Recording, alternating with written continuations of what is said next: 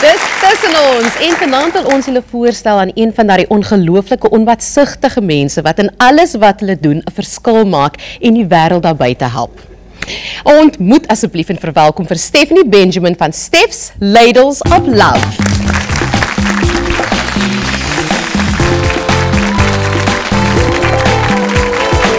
Hallo juffrou. Hallo.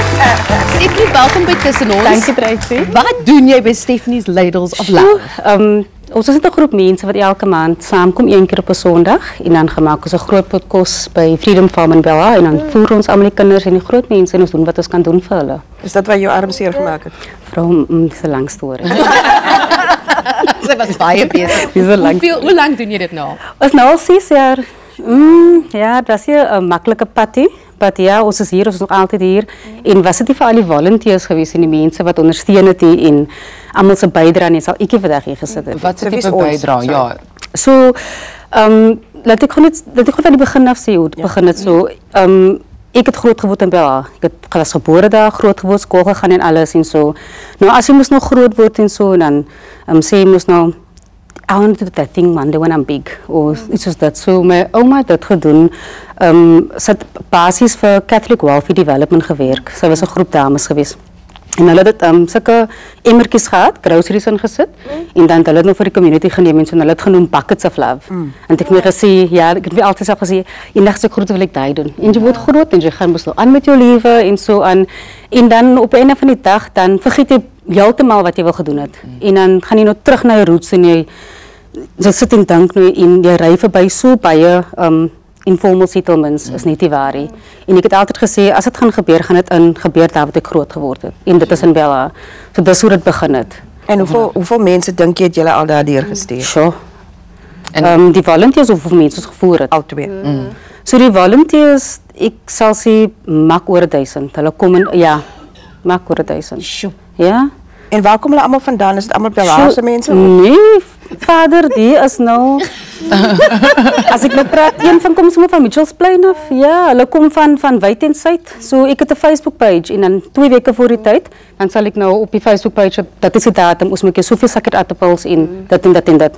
Dan sal die mense nou via Facebook my sê nou Stiefie wat ek het nou dit nou sê nou okay, as jy nou kom kyk, kom bring maar nou eers sakkie aardappels saam, kom skil dit aan, kom gooi wat sy nie kom wil. gooi dit nie, kom gooi dit self in die pot, roer self die pot en voer self die kinders. Ja. Dit is waaroor dit gaan is ons almal maak 'n verskil. Nie net ek ek is maar net die wissel. Ek is maar net die loudspeaker. Dis die mense wat hier weer kom doen by Freedom Farm.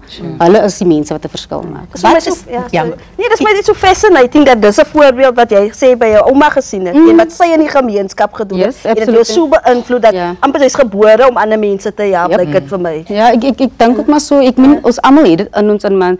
Ek dink ons almal het soms die krag of energie of die tyd om dit te doen en so. Nie, maar daar is volunteers wat soms my SMS af voortyd, "Stief, ek sal dit kan maak die maand." Ek sê maar julle is nie verpligtend om dit te Ja. doen nie. Is dit is voluntary. Dit is voluntary. So dit is basies iets wat mense uit hulle hart uit doen. Effortlessly, unselfishly with no judgment. Sure. Dit is waaroor dit gaan. En wat sien jy wat is julle toekoms? Wat wat lê voor? Wat waarmee sukkel Ehm, julle? Wat van maand tot maand is vir my gaan dit altyd ek ek vlieg altyd vir die kinders.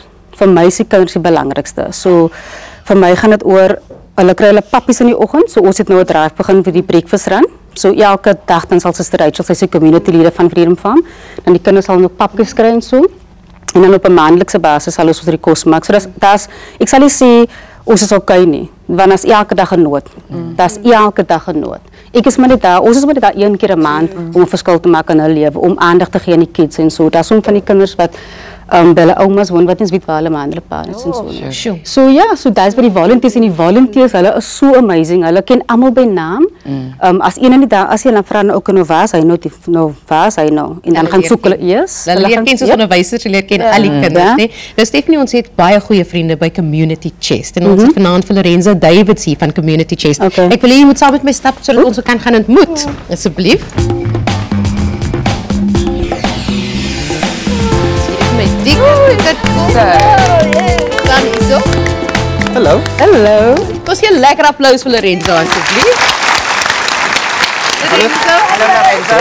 Jy's van Community Chest. Wat doen julle by Community Chest? Ja, ja, Tracy, dis ons groot voorreg om liefdadigheid dwars oor die land te ondersteun. En ons reik uit na mense wat goeie dinge doen en vanaand het ons gehoor van hierdie storie waaroor jy praat met hierdie juffrou en wat sy doen met haar duisend volonteërs en mense en kinders wat van Mitchells Plain af kom en Belhar toe kom en oral. En so vanaand wil ons graag aan haar en vir haar projek wat sy doen met skoolkinders en kinders in die gemeenskap 'n groot cheque oorhandig aan jou Stef vir wat jy doen. So vanaand gee ons vir jou 10000 rand vir wat jy doen en vir wat jy vir die kinders beteken. Jy's absoluut fantasties en ons glo in wat jy doen. Jy's ek hoop jy gaan nog baie goeie dinge doen vir hierdie land. Great is dit? nie? En dis net een van dit want dit is vir jou jy het ook 'n skooluniform projek. Ja. Yes, yes, yes. Dit is baie emosioneel, maar Lorenzo dis nie al nie. Ja, ehm ek dink ons moet nog iets doen, né? Moet ek ja, vas. Kyk as jy Ja, asseblief ons het nog aan die arm. daar, Ja. So Lorenzo, Ja, so so Stef, jou skoolprojek, dis vir jou 10000, dis 10000 rand vir jou Mm, skoolprojek, maar jy doen baie goeie werk. En vir jou ouma wat vir jou so geïnspireer het en vir alles wat jy doen, het ons nog 'n cheque vir jou. Vir Ladies of Love. Vir wat jy doen. Oeps. Stef, twee 10000 rand checks. vir 'n- vir 'n vir 'n vir 'n groot projek, vir 'n baie goeie vrou, vir 'n goeie ouma en vir 'n gemeenskap vir wie jy baie beteken. Ons glo in jou, Stef. Dankie. wat wil jy sê vir hulle, Stef? Ek kan nou sê my kinders gaan skoolklere kry. Dis al wat ek kan sê. Dis wonderlik. Dankie vir die Dankie, werk wat Lorenzo. jy doen. Great, groot En plesier. Lorenzo, dankie aan jou en Community Chest. Dit is 'n absolute pragtige om dankie dat jy hulle uitgereik het. Absoluut. Baie dankie vir julle almal. Dit was nou pragtig. Net kom ons gee vir 'n lekker applous. Baie dankie aan almal by Community Chest. Elke rand kan vir 'n goeie doel. Dankie dat jy saam gekyk het en kom kuier vir ons volgende week in die ateljee. Stuur net 'n e-pos na die adres op die skerm. Totsiens tot volgende week.